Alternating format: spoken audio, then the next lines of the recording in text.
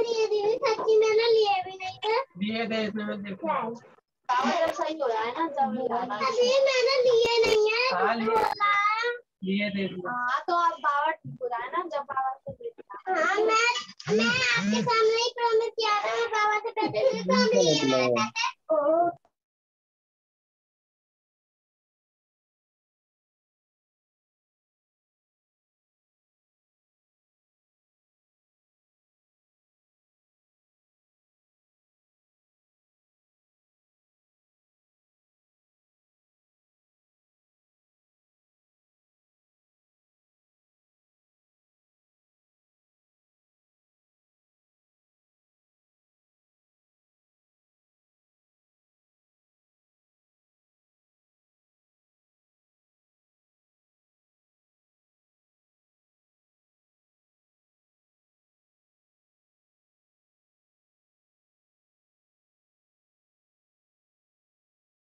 Good morning, all.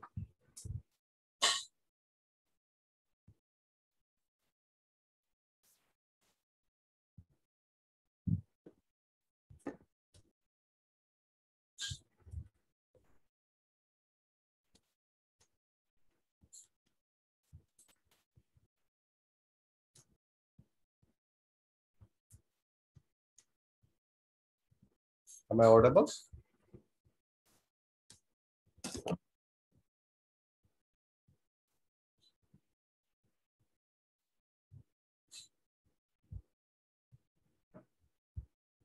Okay. So today we will start with uh, TCP.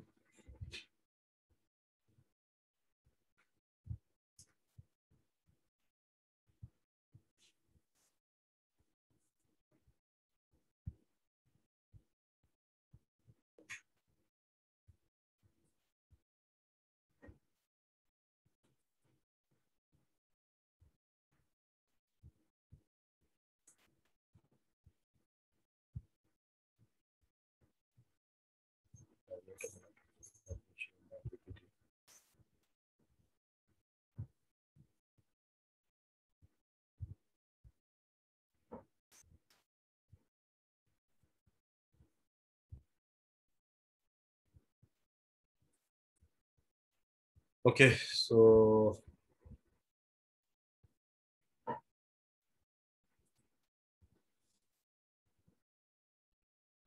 in the last lecture we have discussed about UDP. Okay, and today we will cover uh, concepts of the TCP, right? That is Transmission Control Protocol. And I already told you about uh, TCP. That is one of the uh, connection-oriented protocol of the transport layer and that is reliable because it provides you flow control error control and congestion control also. Okay? And that is these things are basically missing in the udp that is user datagram protocol that is uh, unreliable and connectionless protocol. Okay? As you already know the udp does not add anything to the services of IP, IP just to provide process to process communication. Okay. So, yeah. So TCP is a connection oriented protocol that it creates a virtual connection between two TCP. That is one is sending TCP and one is receiving TCP. Okay. So it is it basically sends the data that we can assume a tube is maintained or a connection is maintained between two TCPs. Okay. In addition, TCP uses the flow and error control mechanism at the transport layer that makes it reliable in nature. Okay. So here we will discuss about the TCP services, its features, how the segment look like, okay, a TCP, how the connection is maintained, flow control and error control. Okay. So as we already discussed about the port number, okay. We, so I told you yesterday, port number is of 16 bits. That means uh, we have maximum 65536 numbers of port. out of which uh, some of our well-known ports, some of our registered ports, and some of our ephemeral ports. Okay, so just like uh, UDP, we have well-known ports for TCP also, just like echo, discard, users, data code, charger, FTP, and many more. Okay, we have DNS, bootp, finger, STTP, RPC, something like that. Okay? So number one thing, number one functionality the provided that is provided by the TCP is stream delivery. It basically delivers the data as a stream of pipe. That means we can assume that a pipe is maintained between the sending TCP and the receiving TCP. Unlike uh, UDP, because UDP में मैं- मैंने क्या discuss किया था UDP में हर एक segment को individual datagram के अंदर इंसर्ट किया जाता है that is provided by the IP layer है ना और हर एक डेटाग्राम को एक इंडिविजुअल इंडिपेंडेंट एंटिटी माना जाता है that means there is no relationship between one packet or one datagram and the other datagram from the same source. उन दोनों के बीच में कोई रिलेशन नहीं होती। तो डेट्स वाई यूडीपी क्या सपोर्ट करता है? Out of order delivery TCP क्या सपोर्ट करता है? जब सीधी सी बात है, मैं एक पाइप बनाऊँगा तो ये कैसी डिलीवरी होगी? इन ऑर्डर डिलीवरी यहाँ पर कंजेशन कंट्रोल होता है। अगर there is some packet loss also है ना? तो ये उसको रिकवर करवा देता है टीसी ओके क्योंकि यहाँ पर फ्लो कंट्रोल और error control we are having flow control and error control also so we can assume the sending process will send the data in terms of bytes है ना? वो एक तरह का ऐसा इल्यूजन क्रिएट करता है कि मेरा सारा डेटा एक ट्यूब के थ्रू पास होगा। बट अल्टीमेटली डेटा पास कैसे होगा? डेटा तो पास होगा आईपी के थ्रू क्योंकि जो टीसीपी होगी that will provide the segments मैंने क्या बताया था? यहाँ पर डेटा यूनिट क्या है? Segments that will provide the individual segment to the IP for the transmission. But ये क्या अलग करता है बेसिकली ये सेगमेंट्स को सेगमेंट्स के बीच में रिलेशनशिप आपको प्रोवाइड कर देता है। है ना? वो हम देखेंगे रिलेशनशिप कैसे बनती है सीक्वेंस नंबर असाइन करता है। सीक्वेंस नंबर के बेसिस पर यहाँ पर मुझे रिलायबिलिटी मिल जाती है। हर एक नंबर को, हर एक बाइट को नंबर किया जाता है, सबसे पहली चीज़। It will number all the byte TCP क्या करेगा? हर एक बाइट जो भी बाइट ट्रांसमिट होगी byte number zero byte number one two three four and so तो हर एक बाइट को मार्क करता है। अब सीधी सी बात है बाइट के कलेक्शन को क्या कहेंगे हम? सेगमेंट तो हर एक सेगमेंट को जो there that is segment is basically collection of bytes हर एक सेगमेंट को एक सीक्वेंस नंबर असाइन कर देता है। है ना? इसको ऐसे समझो। जैसे मेरे पास कोई प्रोडक्ट है we are having some soap है ना? सोप जो आती है, साबुन। साबुन, एक साबुन की जो, है ना बार होती है। साबुन की बार पर भी हमारी मार्किंग होती है। है ना? ये भाई, साबुन का बार नंबर कौन सा है? है ना? मार्किंग होगी। और अगर मैंने उस, जितनी भी suppose I am having hundred bars in a box एक बॉक्स हमने क्रिएट किया, जिसके अंदर कितनी बार्स है? सौ bar we are having hundred उस बॉक्स के ऊपर भी क्या होगी? एक मार्किंग होती है कि बॉक्स नंबर कौन सा है? तो सिमिलरली यहाँ पर हम हर एक बाइट को नंबर प्रोवाइड कर रहे हैं और बाइट के कलेक्शन को जो हम बोलते हैं सेगमेंट उसको भी हम क्या प्रोवाइड करते हैं यहाँ पर? टीसीपी क्या प्रोवाइड करता है? उसको भी एक नंबर प्रोवाइड करेगा that is known as sequence number इस सिक्वेंस नंबर के बेसिस पर ये इन ऑर्डर डिलीवरी प्रोवाइड करता है। ऐसा नहीं है कि सेंडिंग और रिसीविंग टीसीपी के बीच में कोई ट्यूब मेंटेन हो जाएगी, कोई कनेक्शन मेंटेन होगा, वो एक वर्चुअल पाथ है। Is a kind of virtual part जैसे हमने पढ़ा था वर्चुअल सर्किट तो ऐसे ही यहाँ पर एक पाथ बनेगा that is also a virtual path okay so sending process जो भी डेटा जनरेट करेगी बाइट्स की फॉर्म में जनरेट होंगे। अब बाइट्स की फॉर्म में जनरेट होगा तो यहाँ पर क्या होगा? मैं कलेक्शन ऑफ़ बाइट्स को, आपकी टीसीपी क्या करती है? कलेक्शन ऑफ़ बाइट का एक सेगमेंट क्रिएट करती है। और हर एक सेगमेंट को एक सीक्वेंस नंबर असाइन करेगा। हम देखते हैं एग्जांपल कैसे ओके आओ। अब सीधी सी बात है whenever we are dealing with two different systems दोनों की स्पीड कभी सेम नहीं होगी। है ना? यानी कि जो प्रोड्यूसिंग रेट है, आपने प्रोड्यूसर कंज्यूमर प्रॉब्लम पढ़ी हो? In operating system the producing rate of the sending TCP can not be equal to the consuming rate of the receiving TCP अब उस रेट को मेंटेन करने के लिए we require certain buffers okay तो जैसे कि यहाँ पर अगर हम एग्जांपल लेते हैं बफर्स को हम कैसे मेंटेन कर रहे हैं? सर्कुलर फ़ैशन में। We are maintaining buffers in circular fashion और we are having 20 buffers at both side sending as well as receiving हर एक बफर कितनी बाइट को स्टोर कर रहा है? One byte every buffer is storing how many bytes one byte तो आप ये देखो बफर का मूवमेंट कैसे? बफर का मूवमेंट बेसिकली क्लॉकवाइज डायरेक्शन में जा रहा है। किस डायरेक्शन में जा रहा है?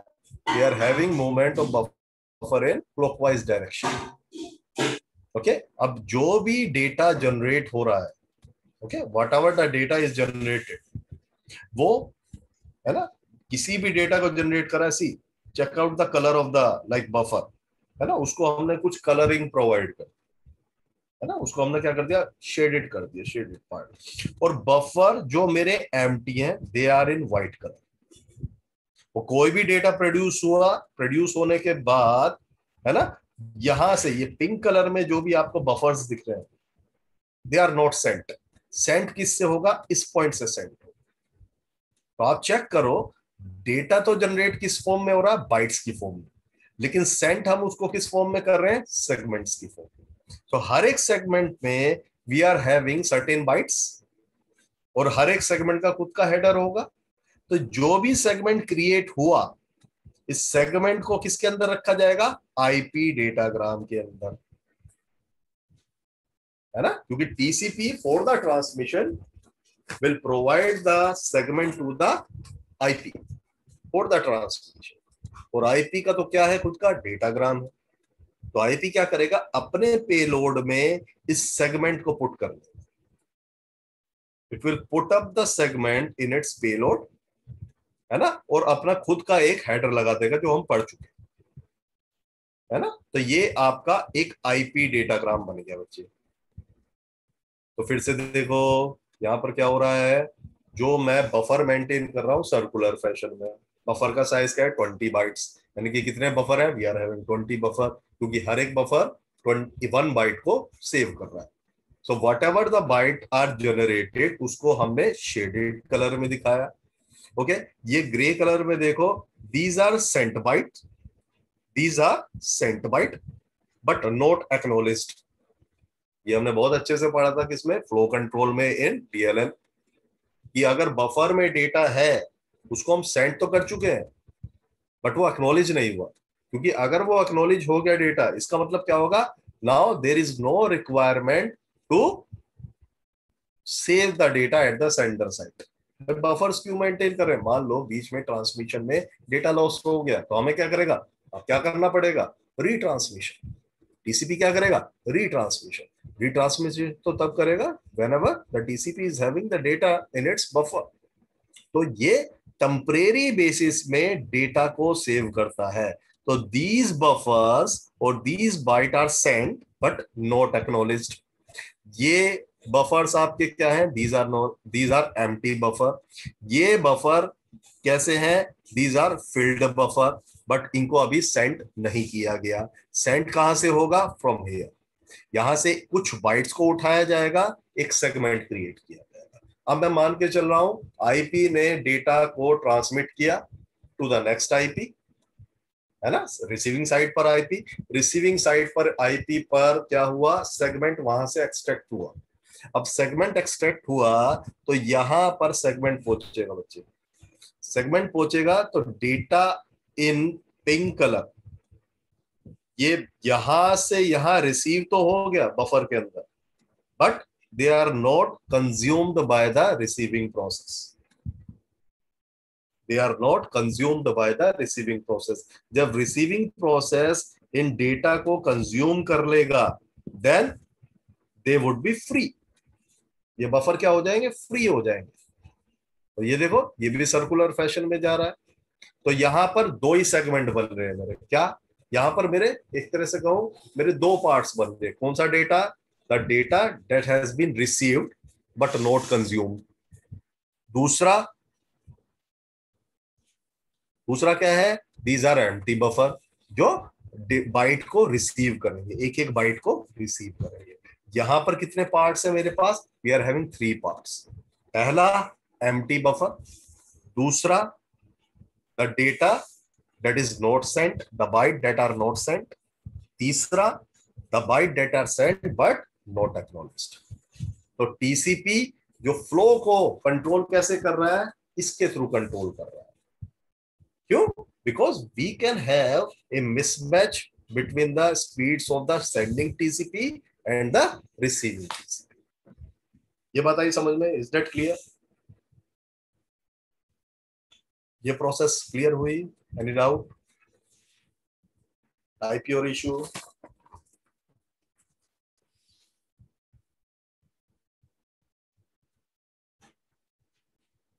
Or should I need to explain this again?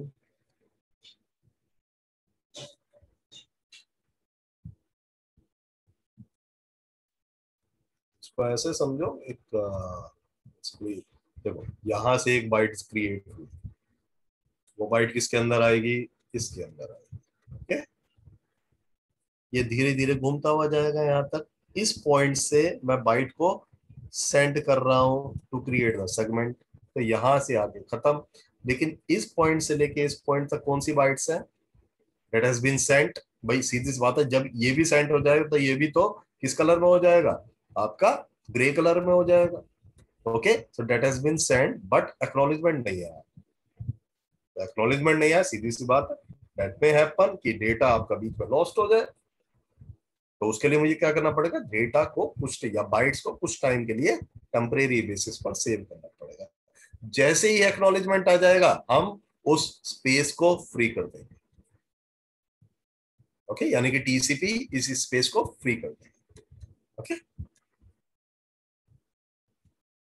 IPB I IPD होगा आई गेस है ना? IPD IPD that is IP datagram that is IP datagram TCP खुद ट्रांसमिशन नहीं करेगा, वो लोअर लेयर से काम करवाता है। लोअर लेयर कौन सी है? आईपी। तो टीसीपी अपने सेगमेंट को किसको दे देगा? To the IP layer. IP layer क्या काम करेगा? सेगमेंट को पेलोड के अंदर फिट कर देगा।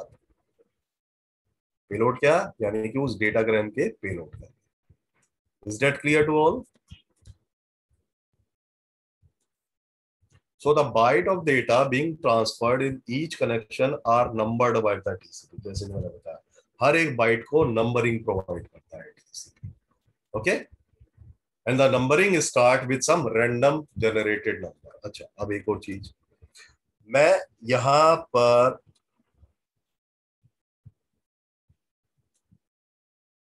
जो कम्युनिकेशन मान के चल रहा हूँ टू वे कम्युनिकेशन मान के चल रहा हूँ फुल डुप्लेक्स फुल डुप्लेक्स में क्या होगा? सेंडर भी सेंड करेगा डेटा और रिसीवर भी सेंड करेगा। जो सेंडिंग टीसीपी है it will send out some bytes receiving TCP है it will also send out some byte अब जो मेरा बाइट नंबर है, हमेशा ऐसा नहीं बाइट नंबर ज़ीरो से ही स्टार्ट होगा।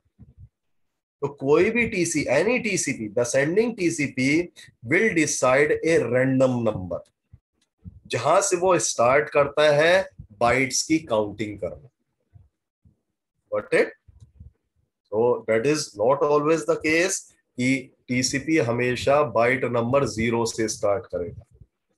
It can start with any random number okay जैसे कि फॉर एग्ज़ाम्पल अब देखते हैं। देखो। The following shows the sequence number of each segment अब यहाँ पर क्या है बच्चे? सपोज़ जो सेंडिंग टीसीपी है, उसने एक रैंडम नंबर गैस किया। है ना? रैंडम नंबर सजेस्ट किया। उस रैंडम नंबर का नंबर क्या है? टेन थाउज़ेंड वन और सपोज़ इसको सेंड कर रहे थे टोटल फाइव थाउज़ेंड बाइट्स कितने सेंड करने थे? फाइव थाउज़ेंड बाइट्स और एक सेगमेंट के अंदर मेरा वन थाउज़ेंड बाइट्स आ सकते हैं। मैं इसको लिख देता हूँ।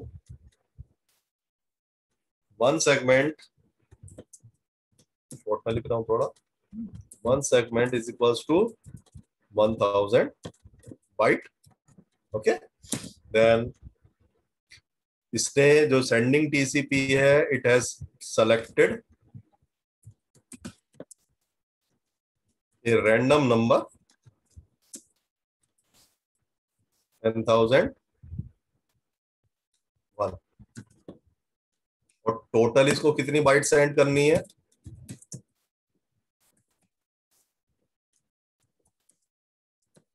फाइव थाउज़ेंड अब सीधी सी बात है जब एक सेगमेंट में वन थाउज़ेंड और टोटल मुझे कितनी सेंड करनी है? फाइव थाउज़ेंड तो मुझे कितने सेगमेंट सेंड करने पड़ेंगे? I have to send five segments है ना? I have to send five segment मैंने आपको बताया जो सेंडिंग टीसीपी है, हर एक बाइट को एक नंबर प्रोवाइड करती है। तो यहाँ पर जो सेंडिंग टीसीपी है, उसने एक रैंडम नंबर सेलेक्ट किया, क्या? टेन थाउज़ेंड वन यहाँ से वो काउंटिंग करना शुरू करेगा। तो लास्ट बाइट नंबर क्या जाएगा? फिफ्टीन थाउज़ेंड है ना? भाई टोटल मुझे कितने सेंड करने हैं? टेन थाउज़ेंड वन से सेलेक्ट किया, है ना? स्टार्ट किया टोटल मुझे फाइव थाउज़ेंड तो लास्ट क्या जाएगा? फिफ्टीन थाउज़ेंड एक सेगमेंट में कितनी बाइट है? थाउज़ेंड तो हर एक सेगमेंट को टीसीपी एक सीक्वेंस नंबर असाइन करता है। And what is sequence number sequence number is the number of first byte that is con- that is contained in the segment. It is the number of the first byte that is contained in the segment. तो पहले segment के अंदर कौन कौन सी byte आएँगी? Ten thousand one से लेके इलेवन थाउज़ेंड एक हज़ार आ गई। तो इसको सीक्वेंस नंबर हम क्या देंगे? पहली बाइट का number that is ten thousand one next क्या होगा? Eleven thousand to twelve thousand eleven thousand one to twelve thousand तो यहाँ पर सीक्वेंस नंबर क्या बनेगा? इलेवन थाउज़ेंड वन नेक्स्ट जो मेरा सेगमेंट बनेगा 12,001 से लेके 13,000 तो यहाँ पर सीक्वेंस नंबर हमेशा पहला बाइट का नंबर दैट इज़ 12,001 देन 13,001 से 14,000 तो पहला जो भी बाइट नंबर है वो मेरा क्या बनता है? सीक्वेंस नंबर देन 14,001 से लेके 15,000 तो ये मेरा पहला जो बाइट नंबर है वो मेरा क्या बनेगा? सीक्वेंस नंबर क्वेश्चन आया समझ में? क्वेश्चन ऐसा आ सकता है एग्ज़ाम में, आपको मेंशन हो the total number of byte to be sent by the sender is ten thousand और एक सेगमेंट के अंदर we can have two thousand bytes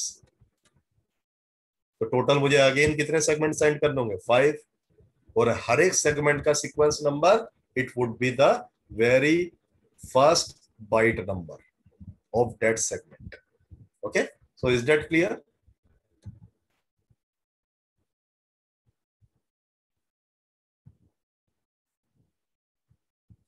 So the value in the sequence number field of a segment defines the number of the first byte contained in that segment. Okay, so ये इसमें कुछ है ही नहीं. So okay, अब मैंने क्या बताया ये टू वे कम्युनिकेशन है फुल डुप्लेक्स जब हम फुल डुप्लेक्स की बात करते हैं तो डेटा वहाँ से भी आएगा एक्नोलेजमेंट आएगा बेसिकली तो हम एक्नोलेजमेंट में क्या सीक्वेंस नंबर डिफाइन करते हैं So the value of the acknowledgement field in a segment defines the number of next byte a party expect to receive. जैसे कि जो हमने फ्लो कंट्रोल में पढ़ा था कि अगली बाइट कौन सा चाहिए? फ्लो कंट्रोल में हमने कहा था, अगला फ्रेम नंबर कौन सा चाहिए? है ना? अगला फ्रेम नंबर कौन सा चाहिए? ऐसे ही यहाँ पर भी जो भी एक्नोलेजमेंट नंबर सेंड किया जाएगा that means the number of next byte that should be received so the acknowledgement number is cumulate इसका मतलब क्या हुआ? एक्नोलेजमेंट नंबर क्या बने आपके? Cumulative okay suppose acknowledgement number हमने क्या लिखा?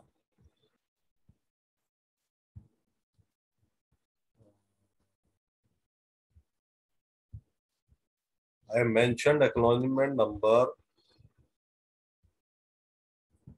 1001 इसका मतलब क्या हुआ? क्यूमुलेटिव है। इसका मतलब क्या है? मुझे हज़ार बाइट्स तक, मुझे जो लास्ट सेगमेंट रिसीव हुआ, मुझे जो लास्ट सेगमेंट रिसीव या लास्ट बाइट कौन सी रिसीव हुई? थाउज़ेंड अब इसका मतलब ये है, उसका लास्ट बाइट का जो नंबर रिसीव हुआ, उसका नंबर क्या था? थाउज़ेंड तो क्या हम ये कह सकते हैं कि टोटल थाउज़ेंड बाइट रिसीव की? Can we say that if the acknowledgement number is 1001 इसका मीनिंग क्या है? जो लास्ट बाइट रिसीव हुई थी करेक्टली उसका नंबर क्या था? 1000 can we say that the receiver have received 1000 bytes हम बोल सकते हैं?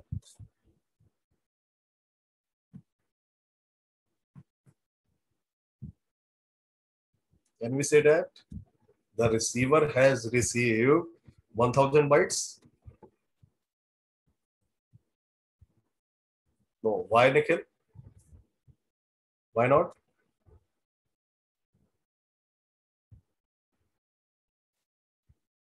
Why not?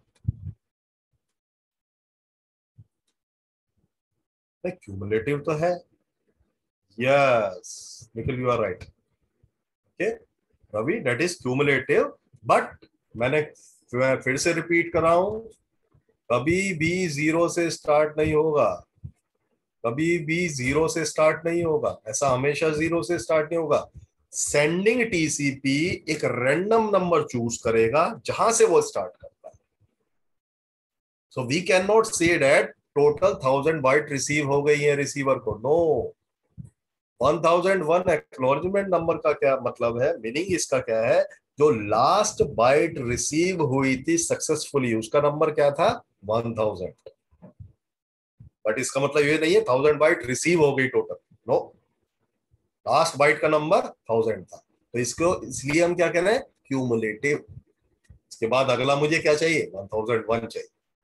Okay but we can no say that कि वो ज़ीरो से स्टार्ट हुआ होगा। It can start with any number वो हंड्रेड से स्टार्ट हुआ हो फाइव हंड्रेड से स्टार्ट हुआ हो वी डोंट नो हमें आइडिया नहीं है। ओके ओके सो अब हम टीसीपी हेडर की बात करें। टीसीपी हेडर जैसे कि हमने यूडीपी हेडर पढ़ा आईपी हेडर पढ़ा आईपीवी फोर ओके सो यहाँ पर भी टीसीपी हेडर है।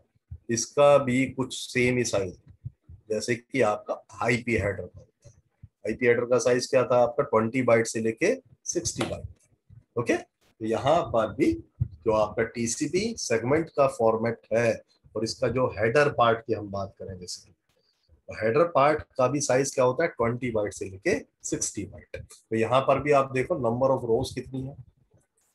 Are having one two three four five देखो, पाँच रो तो एसेंशियल है। और इसके बाद ऑप्शनल फ़ील्ड या पैडिंग पैडिंग का मतलब या तो ज़ीरो आ जाएँगे या कुछ ऑप्शन सेलेक्ट किए होंगे तो वो ऑप्शन आ जाएँगे। तो यहाँ पर भी मिनिमम कितनी रोज आती है? पाँच और मैक्सिमम कितनी रोज आती है? Fifteen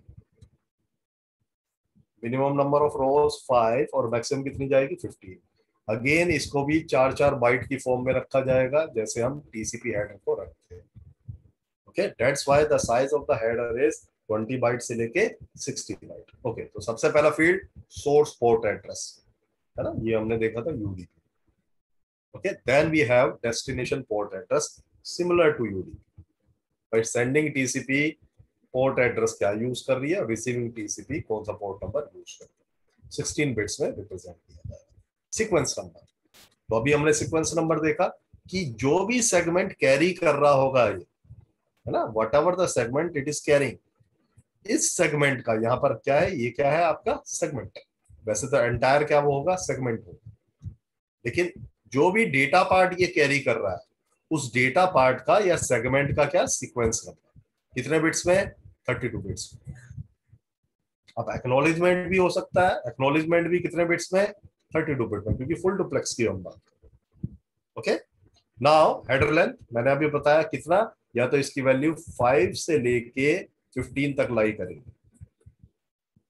चार bit okay then next six bits are reserve इसको यूज़ नहीं किया गया रिज़र्व रखा गया। Okay then we are having next six bit these are flag bits अभी मैं इनके बारे में डिस्कस करूँगा we are having urgent acknowledgement, push, reset, synchronize and finish these are urgent acknowledge acknowledgement push reset synchronize and finish then window size window size flow control के लिए use करते हैं और ये बेसिकली रिसीवर की window size को represent करता है कि रिसीवर की फ्लो कंट्रोल किस लिए यूज़ करते हैं so that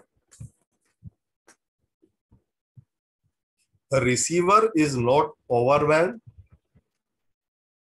with the fast sender. Suppose we are having a slow receiver. और फास्ट सेंडर है मेरे पास, वो फास्टली डेटा को ट्रांसमिट कर रहा है। होगा क्या? होगा क्या? Buffer the buffer at the receiving side will full after some time तो डेटा स्पिल आउट हो जाएगा वहाँ से। ओके? तो फ्लो कंट्रोल जब हमने पढ़ा था वहाँ पर डेटा लिंक लेयर में, ऐसे ही फ्लो कंट्रोल यहाँ बट जो विंडो साइज़ हम डिफाइन करेंगे दैट विल बी रिसीवर भाई रिसीवर के अकॉर्डिंग एडजस्ट करना होगा किसको? सेंडर तो रिसीवर विंडो साइज़ हम किसमें डिफाइन करेंगे? 16 बिट्स इसको हम देखेंगे आगे। चेकसम अगेन जैसे चेकसम वहाँ कैलकुलेट किया था हमने कहाँ पर? यूडीपी में, ऐसे ही यहाँ पर भी चेकसम कैलकुलेट होगा। And next is urgent pointer तो इसके बारे में जब हम एक्नोलेजमेंट या फिर ये फ्लैग बिट्स के बारे में डिस्कस करेंगे, तब मैं आपको एक्नोलेज अर्जेंट पॉइंटर के बारे में बताऊँ। Yes any doubt in these fields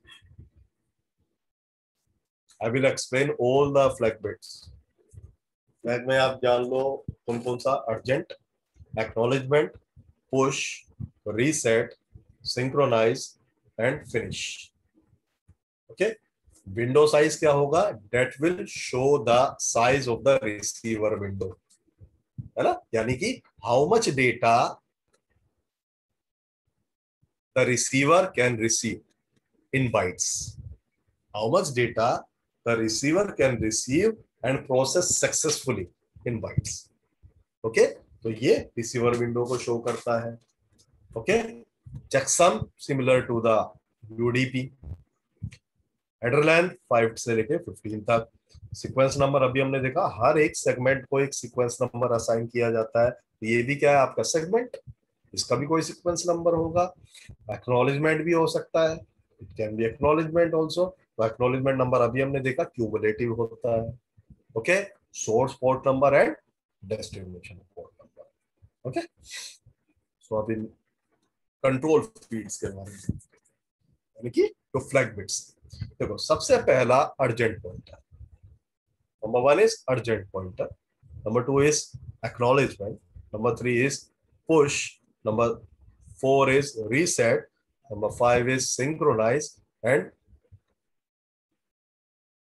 finish finish तो सबसे पहले अगर मैं बात करता हूँ अर्जेंट और पुश के बारे में, जब हम हैंड शेकिंग बताएँगे थ्री वे हैंड शेकिंग तो जब मैं एक्सप्लेन करूँगा ओके तो वहाँ से बेटर अंडरस्टैंडिंग ओके अगर आपका एक्नोलेजमेंट फ़ील्ड वन है तो ये क्या शो करेगा कि ये जो भी सेगमेंट है, ये एक्नोलेजमेंट को भी कैरी कर रहा है? पिगी बैकिंग जिसको मैंने आपको एक टर्म बताई थी piggybacking in your class okay इसका मतलब क्या है? ये डेटा तो कैरी कर ही रहा है। साथ के साथ इट इज़ परफॉर्मिंग एक्नोलेजमेंट ये control field it is zero इसका मतलब क्या है? ये केवल एक डेटा सेगमेंट है। Okay? It is only a data segment और अगर एसी के की वैल्यू वन होगी, इसका मतलब क्या होगा? ये डेटा के साथ साथ एक एक्नोलेजमेंट सेगमेंट भी है। ओके? okay? बात करेंगे रीसेट अगर सेंडिंग और रिसीविंग टीसीपी रीसेट करना चाहते हैं कनेक्शन को है ना? भाई, दोनों के बीच में मैंने क्या बताया था? एक वर्चुअल पाथ मेंटेन होगा। If they want the path to be reset तो यहाँ पर इसकी वैल्यू क्या होगी? वन अदरवाइज़ ज़ीरो सिंक्रोनाइज में दोनों पार्टीज़ अपने अपने सीक्वेंस इनिशियल सीक्वेंस नंबर को सिंक्रोनाइज करते हैं। आईएसएम जिसको हम क्या बोलते हैं? आई एस आईएसएम है ना? तो अगर इस सिन फ़ील्ड की वैल्यू वन होगी, इसका मतलब इसके अंदर कोई डेटा नहीं होगा, केवल क्या होगा? जो सेंडिंग टीसीपी है, wants to communicate to the receiving TCP that my data will start from this particular sequence number. तो सेंडिंग टीसीपी अपना सीक्वेंस नंबर बताएगी। ऐसे ही रिसीविंग टीसीपी भी अगर सिन फ़ील्ड को वन कर देती है तो वो भी क्या करेगा? अपना स्टार्टिंग सीक्वेंस नंबर बताएगा। तो दोनों पार्टीज़ अपने अपने स्टार्टिंग सीक्वेंस नंबर एक दूसरे को कम्युनिकेट करते हैं।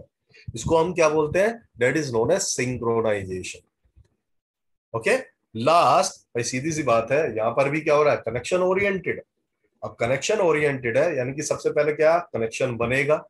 Then they will transmit the data to each other then after the transmission of data after the sending and receiving of the data they will terminate the connection they will terminate the connection terminate मतलब क्या है जो भी resources connection prepare करने में लगे होंगे उनको फ्री कर और उसके बाद दोनों TCP they can not exchange the data they can not exchange the segment तो अगर फिन की वैल्यू वन है that means they want connection to be terminated और ये दोनों साइड से हो सकता है, इसको हम देखेंगे बाद में, जो three way handshaking I guess that is clear to you अभी अर्जेंट बचा है पुश बटन जब हम हैंड शेकिंग पढ़ेंगे अर्जेंट और पुश मैं आपको वहाँ क्लियर करूँगा any doubt in acknowledgement reset SYN and finish The urgent, the value of the urgent pointer field is valid. acknowledgement, the value of the acknowledgement field is valid. Push the data, reset the connection, synchronize the sequence number during the connection and terminate the connection. Okay. अभी आ गया handshake हाँ जी कोई doubt अभी तक class any doubt जहाँ से urgent वगैरह सब समझ आएगा टिल नाउ एनी डाउट और इश्यू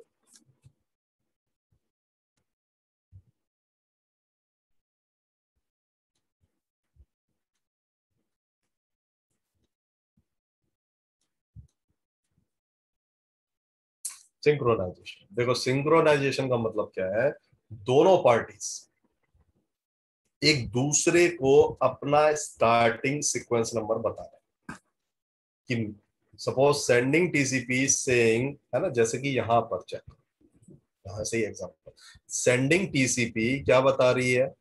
है ना, ये क्लाइंट बेसिकली सर्वर को क्या बता रहा है? मैं जो भी डेटा सेंड करूँगा, है ना डेटा सेंड करने के लिए मैंने क्या बताया था? एक रैंडम नंबर सेलेक्ट कर लेता है। तो इसने रैंडम नंबर सेलेक्ट क्या किया? एट थाउज़ेंड नाउ ये इसको बता रहा है सर्वर को कि मेरे, मेरी साइड से जो भी डेटा जनरेट होगा, उसका नंबर कहाँ से स्टार्ट होगा? एट थाउज़ेंड से। सीक्वेंस कहाँ से स्टार्ट होगा? एट थाउज़ेंड से। अब सर्वर देखो एट उसने एक्नोलेज क्या किया? Eight thousand one now server is ready to accept byte number eight thousand one eight thousand तो यहाँ कंज्यूम हो गया। और now the server is ready to receive byte number 8001. और साथ के साथ सर्वर क्या बता रहा है कि अब मैं जो डेटा सेंड करूँगा, उसका बाइट नंबर कहाँ से स्टार्ट होगा? 15000 से। तो इसको हम क्या बोलते हैं? सिंक्रोनाइजेशन दोनों एक दूसरे को both the parties sender and receiver, they are telling each other about their initial sequence number अब यहाँ पर देखो, ये क्या हुआ? सिंक्रोनस प्लस एक्नोलॉजी तो किया इसने। इसको हम क्या बोलते हैं? सिन केवल सिंक्रोनाइज किया। यहाँ पर दोनों चीज़ हो ओके तो यहाँ पर मेरा सीक्वेंस फ़ील्ड है। एक्नोलेजमेंट फ़ील्ड नहीं है। और जब मैं इसको एक्टिव कर देता हूँ एक्नोलेजमेंट फ़ील्ड को तो मेरे पास यहाँ एक्नोलेजमेंट में भी क्यूमुलेटिव वे में वैल्यू आ जाती है। अब यहाँ पर हम क्या कर रहे हैं? वी आर जस्ट एक्नोलेजिंग तो जब हम इसको एक्नोलेज कर रहे हैं तो यहाँ सीक्वेंस फ़ील्ड में हमने कोई भी इंक्रीज नहीं की इसका मतलब क्या है? कोई भी एक्नोलेजमेंट सेगमेंट होगा it will not consume any sequence number और सिंक्रोनाइज सीक्वेंस नंबर और सिंक्रोनाइज सेगमेंट हमेशा एक सीक्वेंस नंबर को कंज्यूम करता है। देखो 8000 15000 ये दोनों सीक्वेंस नंबर कंज्यूम हो गए। अब जो अगला डेटा जाएगा फ्रॉम क्लाइंट उसका नंबर क्या होगा? सीक्वेंस नंबर 8001 ओके उसका सीक्वेंस नंबर क्या होगा? 8001 राइट तो यहाँ तक कोई क्लियर वैसे मैं थ्री वे हैंड शेकिंग फिर क्लियर करूँगा आपको नेक्स्ट लेक्चर एनी डाउट और इशू देखो see SYN segment can not carry any data but it consumes one sequence number a SYN plus acknowledgement segment cannot carry data, but does consume one sequence number.